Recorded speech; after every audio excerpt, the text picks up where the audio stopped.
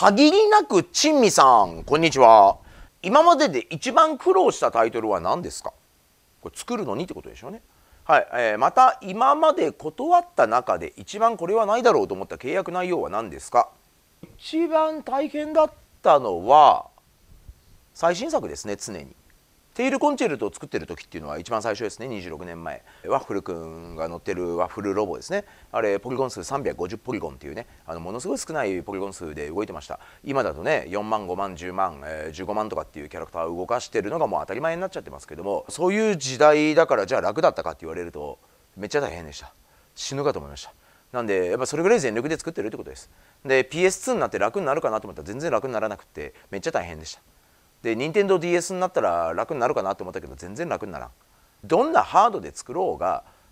結局全部大変です。ゲーム業界ってやっぱ常に進化してるじゃないですか。お客さんの求めるハードルも上がってるんですよ。作るためのツールの充実とかもあってどんどん便利にもなってます。だから楽になる部分もあります。けどならない部分もあります。そして新たにやらなきゃいけないことも増えます。結局ずっと大変。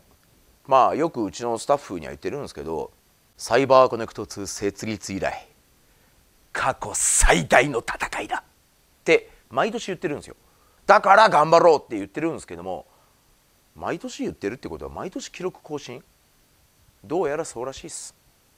まあ、この経験があるからこそ次はもっと楽にできるよねってもちろんその通り。学びがあるんですよ。だからより効率よくいけるけどそれ以上にやんなきゃいけないことがまたバーンって増えるんですよそれは世の中のお客さんの目が超えて、えー、世の中のサービスがどんどん充実していってもっともっとがやっぱ増えてくるのでなかなかこう楽できないし楽したいって思うんだったらこの業界ちょっと向いてないかもしれないですね。目の前にある難題や苦労っていうものをクリアしていけばどんどん今作ってる作品って良くなることは変わらないしで無駄な作業をやっちゃいけないし効率悪いのもやっぱダメだと思うんですよ。効率よくあの便利にいろんなものを駆使しながら、えー、情報伝達もしっかり図っていきながらよりいい仕事をしていくための努力を積み重ねるっていうのはもう日々の、えー、努力の、まあ、積み重ねだと思いますんで、まあ、そればっかは多分今後も変わらないだろうなと思います。おもう一個あったな。えっ、と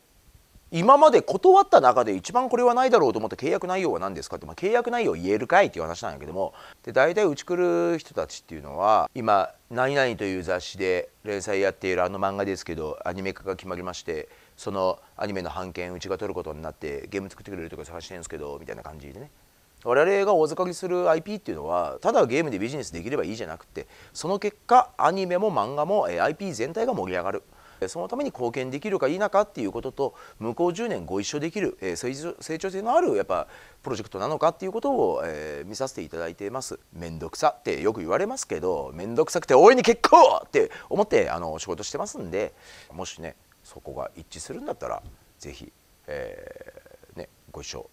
できることがあるかもしれませんので、はいえー、よろしく、えー、その際はね、えお願いします。